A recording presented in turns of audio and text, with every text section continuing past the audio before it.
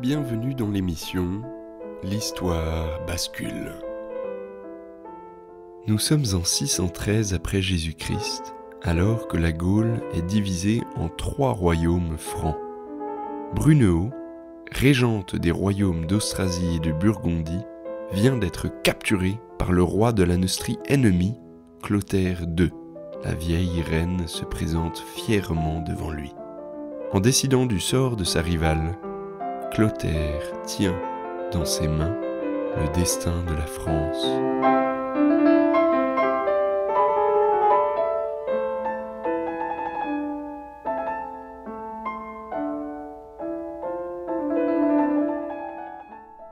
Au VIe siècle après Jésus-Christ, la Gaule est encore profondément marquée par l'influence culturelle et politique de l'Empire romain, même si le pouvoir est passé à des rois d'origine barbare et que la société continue à se christianiser.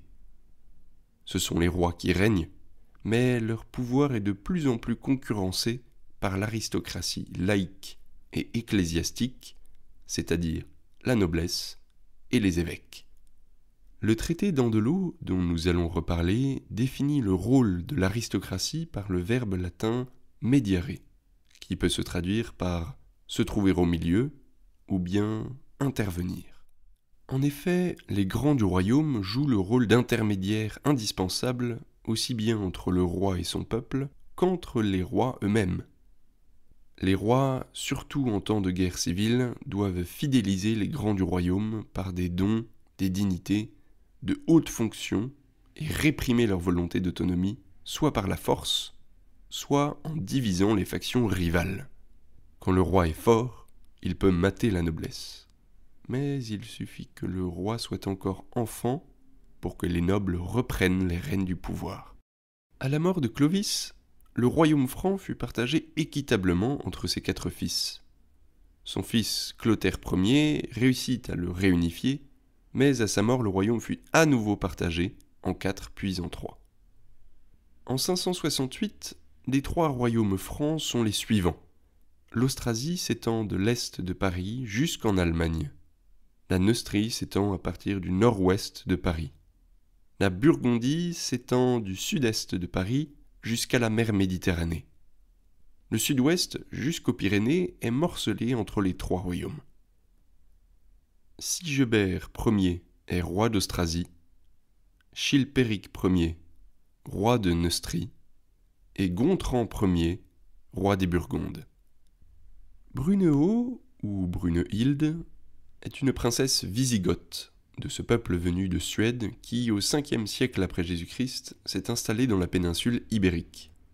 En 566, Brunehaut a épousé Sigebert Ier, petit-fils de Clovis, et devient ainsi à 19 ans reine d'Austrasie.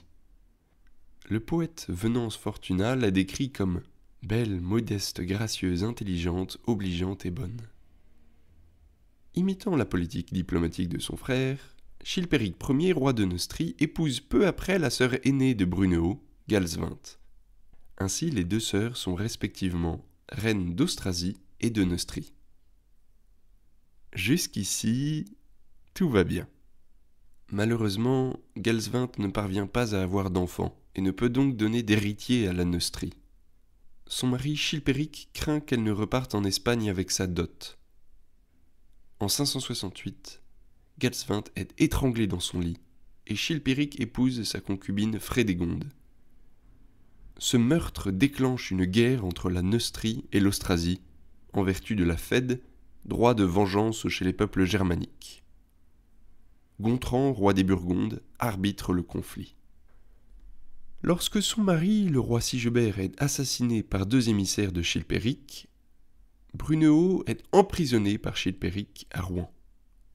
Cependant, le fils de Brunehaut, Childebert II, a réussi à s'échapper à Metz, où il est proclamé roi par la noblesse austrasienne. Ces nobles austrasiens sont divisés en deux factions. Ceux qui veulent se rallier à Chilpéric, roi de Neustrie, et ceux qui préfèrent Gontran, roi de Burgondie. C'est alors que commence l'ascension politique de Brunehaut. Si elle veut conquérir et garder le pouvoir, Brunehaut doit affronter à la fois l'adversaire extérieur, la Neustrie, et l'adversaire intérieur, ses opposants parmi la noblesse austrasienne. Brunehaut s'échappe de Neustrie en épousant un fils rebelle du roi de Neustrie. Son époux meurt un an plus tard, mais Brunehaut est libre.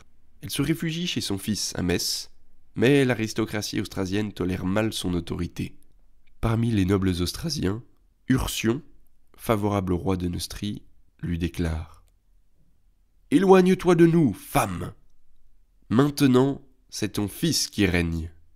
Éloigne-toi, pour que les sabots de nos chevaux ne t'écrasent pas sur leur passage. Néanmoins, en quelques années, Bruno établit son autorité grâce au secours de son beau-frère Gontran, roi de Burgondie.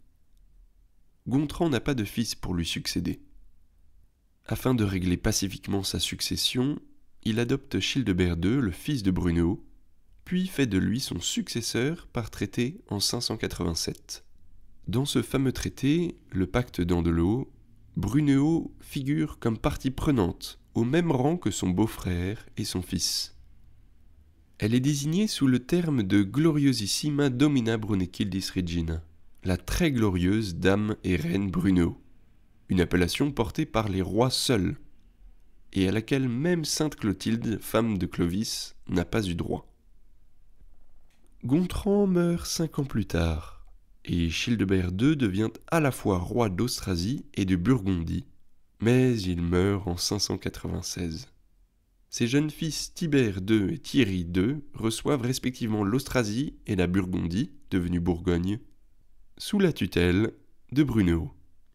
L'année 597 marque l'apogée de Brunehaut comme chef d'État. Sa rivale Frédégonde meurt de cause naturelle, laissant son jeune fils Clotaire II roi de Neustrie. Brunehaut est régente d'Austrasie et de Bourgogne, c'est-à-dire un territoire trois fois plus vaste que la Neustrie. À plus de 50 ans, Brunehaut est peut-être la personne la plus puissante d'Europe occidentale, et entretient une relation diplomatique active avec l'empereur byzantin Maurice et sa cour. Le pape Grégoire le Grand lui affirme Vous êtes placé au-dessus de toutes les personnes de sang royal.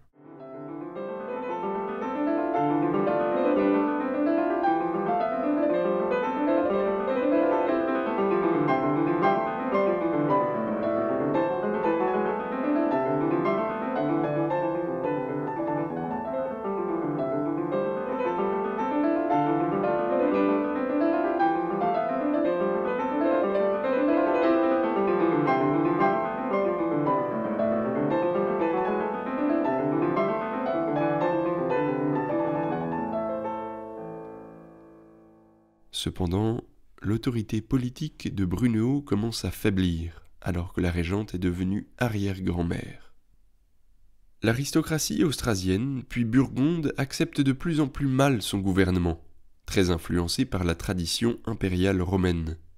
Brunehaut nomme et déplace ses nombreux fonctionnaires à sa guise, tente de recouvrer directement l'impôt et mène une politique diplomatique ambitieuse. Elle centralise la police, la justice et l'administration, ce qui déplaît aux grands du royaume. D'abord, Brunehaut perd le soutien des grands du royaume d'Austrasie, dont elle a fait assassiner l'un des chefs rebelles. En Bourgogne aussi, le mécontentement vis-à-vis de la politique de Brunehaut croît chaque année. En 605, le maire du palais de Bourgogne nommé par Brunehaut, Protade, est assassiné par ses propres guerriers. En 610, les deux petits-fils de Bruno entrent en guerre l'un contre l'autre.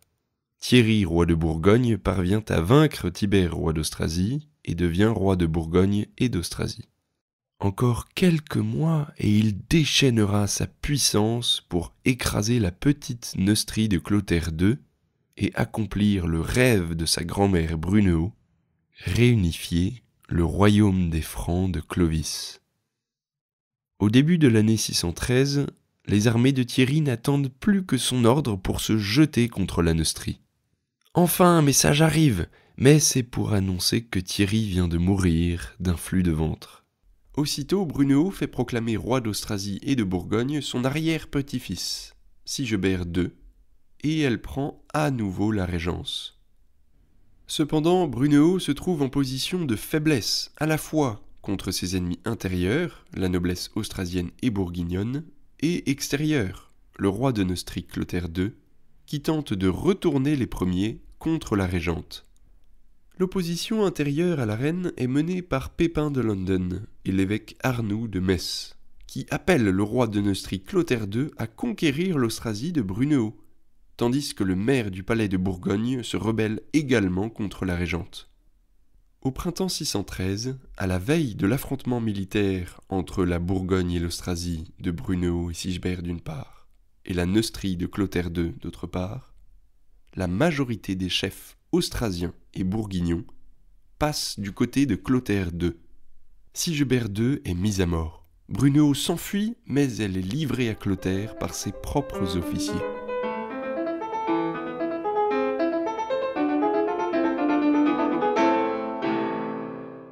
Clotaire II peut-il ordonner sciemment la mort de Brunehaut? Brunehaut n'est pas seulement une femme d'État redoutable et talentueuse, elle est un symbole politique. Toute sa vie, elle a tâché d'unifier les royaumes des Francs dans une logique de centralisation fondée sur la conception romaine de l'État, en combattant la tendance décentralisatrice de l'aristocratie. Clotaire sait bien qu'il ne doit sa victoire qu'à la rébellion des grands des royaumes d'Austrasie et de Bourgogne contre la régente. Ainsi, en décidant du sort de Brunehaut, Clotaire doit choisir entre deux partis. Le parti de la centralisation, de la culture antique et gallo-romaine et des villes, celui de Brunehaut, ou bien le parti de la décentralisation, de la coutume germanique et des campagnes, celui de la noblesse. La vieille reine a soixante ans passés, et pourrait être seulement exilée. Si Clotaire voulait lui aussi juguler les prétentions de la noblesse, alors Brunehaut, malgré leur opposition, serait sa meilleure alliée, et sa perte serait irremplaçable. L'écarter du pouvoir permettrait de l'empêcher de nuire, tout en pouvant recourir à son talent politique et diplomatique si besoin.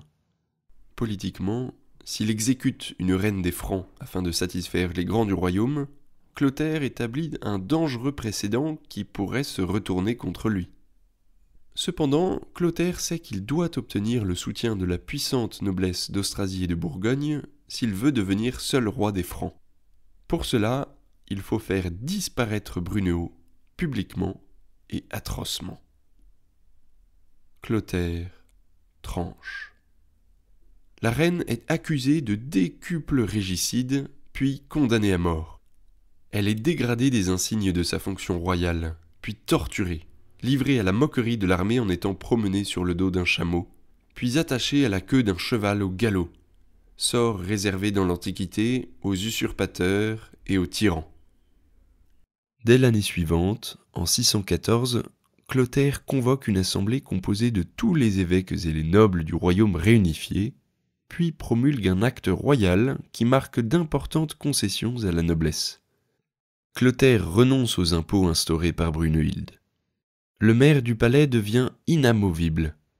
D'autre part, les dépositaires de l'autorité publique doivent l'exercer dans le territoire où ils sont installés, ce qui accélère la régionalisation du royaume franc et ouvre la voie à la féodalité. À court terme, en éliminant sa rivale, Clotaire devint seul roi des Francs. Mais à long terme, en choisissant de dégrader la fonction royale afin de satisfaire la noblesse, il remit en cause son propre pouvoir et affaiblit la dynastie mérovingienne. Enfin, la mort atroce qu'il infligea à la régente contribua à la légende de Brunehaut.